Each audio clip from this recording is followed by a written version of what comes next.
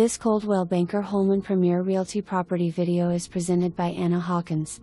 5 bedroom, 2 bath home located on 0.68 acres in the heart of Klamath Falls. Has had horses on the property in the past. Lots of outbuildings. Open floor plan and one bedroom located on the main floor. There is a deck off the second story overlooking the neighborhood. Easy to show. For more information, review the details below or contact Anna Hawkins at 541 884 1343.